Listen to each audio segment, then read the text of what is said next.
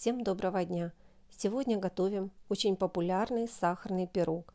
Он получается воздушным, с маслянистой пропиткой, а сверху с хрустящей сахарной корочкой.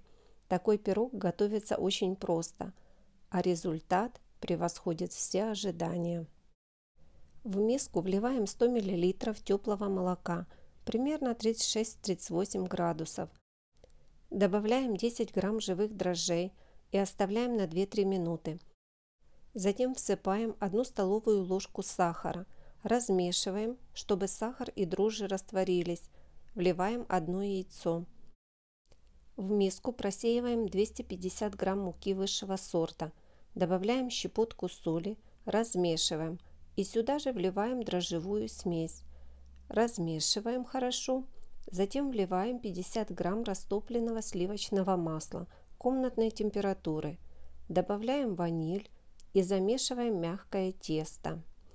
Если тесто получилось очень мягким, муку добавлять не надо, а то пирог не получится воздушным. Тесто округляем, накрываем и ставим подходить в теплое место на час-полтора.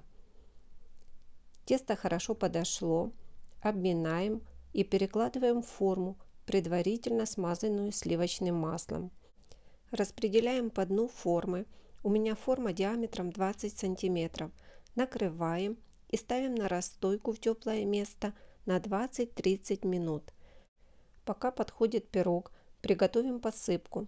В миску отправляем 50 грамм мягкого сливочного масла и 80 грамм сахара. Перетираем лопаткой. Тесто подошло. Аккуратно, чтобы тесто не осело, делаем углубление – Сверху кусочками выкладываем приготовленную посыпку. Ставим пирог выпекаться в разогретую до 180 градусов духовку на 20 минут. Пирог зарумянился, пропекся. Достаем из духовки и заливаем сливками. Затем возвращаем пирог в горячую духовку еще на 5-10 минут. Пирог достаем из духовки, из формы и даем полностью остыть. В кухне стоял такой ванильно-сливочный аромат пирога, что я не удержалась и разрезала его еще немного теплым. Вкус пирога просто сказочный. Мягкое нежное тесто, сахарная корочка, сливочная пропитка, как крем, делают пирог незабываемым. Рекомендую приготовить.